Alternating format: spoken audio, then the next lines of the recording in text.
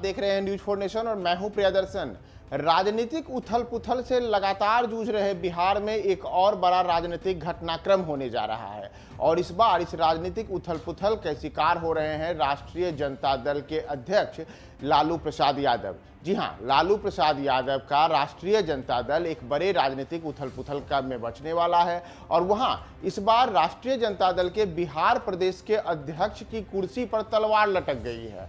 आप सही सुन रहे हैं, बिहार प्रदेश के जो राष्ट्र, जो अध्यक्ष हैं जगदानंद सिंह जगदानंद सिंह की कुर्सी उनकी जाने वाली है और उनकी जगह पर अब नए अध्यक्ष की ताजपोशी होने वाली है और इसके लिए लालू यादव की पार्टी ने पूरी तैयारी कर ली है। कहा जा रहा है कि तेजस्वी यादव भी इस पर सहमत हो चुके हैं और महज कुछ महीने ही प्रदेश अध्यक्ष का प्रभार संभालने वाले जगदानंद सिंह की अब विदाई की तैयारी कर ली गई है। उनकी जगह अब नए अध्यक्ष के रूप में, जिन लोगों के नाम की सबसे ज़्यादा चर्चा है और माना जा रहा है कि तय है, उसमें राज राजद के वरिष्ठ नेता अब्दुल बारी सिद्दीकी का नाम सबसे ऊपर चल रहा है। अब्दुल बारी सिद्दीकी को बिहार प्रदेश राजद का अध्यक्ष बनाया जा सकता है। उनके अध्यक्ष बनाने को लेकर के लालू प्रसाद यादव और तेजस्वी यादव की सहमति की बातें की जा रही हैं और रूठे जगदानंद को अब पार्टी के प्रदेश बिहार प्रदेश के अध्यक्ष की कुर्सी से हटाने की पूरी तैयारी कर ली गई है। दरअसल राजद के इस बार के जो अध्यक्ष बनाए गए थे जगदानंद सिंह,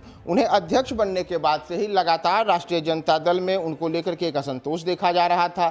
जगदानंद सिंह प्रदेश का अध्यक्ष का प्रभार तो संभाल चुके थे, लेकिन वे लगातार अब जो बिहार प्रदेश अध्यक्ष की कुर्सी पटना में रहती है। वहाँ से वो हटे हटे थे। वो पहले एक महीने तक अपने गाँव में रहे, बाद में वो दिल्ली में लालू यादव से मिले और उसके बाद यहाँ तक स्थिति हुई कि उनके बेटे, जो सुधाकर सिंह बिहार में कृषि मंत्री थे, उन्होंने भी अपने मंत्री पद की कुर्सी छोड़ दी। और यहीं से जो पार्टी में उथल पुथल की स्थिति देखी गई। उसके बाद से यह तय माना गया कि जगदानंद सिंह अपनी कुर्सी छोड़ेंगे। और अब जो खबर सामने आ रही है, उसके अनुसार जगदानंद सिंह को कुर्सी से हटाने की तैयारी कर ली गई है। उनकी जगह अब राजद के वरिष्ठ नेता अब्दुल वारिस सिद्दीकी को बिहार प्रदेश राजद अध्यक्ष की कुर्सी सौंपी जा सकती है।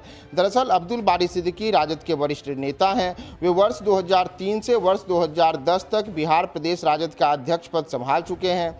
विधानसभा में नेता विरोधी दल चुने जाने के बाद उन्हें अपने प्रदेश अध्यक्ष की कुर्सी छोड़नी पड़ी थी।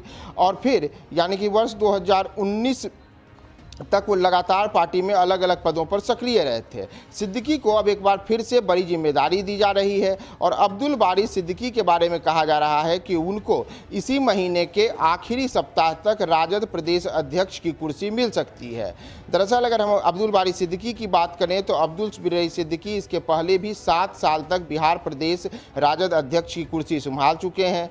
वो कई वर्षों तक विधायक रहे हैं। वो पिछला विधानसभा चुनाव भाजपा के उम्मीदवार से तो हार गए थे, लेकिन उसके पूर्व तक वो लगातार अलग अलग बिहार विधानसभा और बिहार विधान परिषद में निर्वाचन उनका होते आया है और उनकी जो वरिष्ठता है, उसे देखते हुए पार्टी में जो यादव मुस्लिम समीकरण है, यादव मुस्लिम समीकरण को साधने की नियति के तहत अब्दुल बारी सिद्दीकी को बिहार प्रदेश राजद का अध्यक्ष बनाने की चर्चा चल रही है।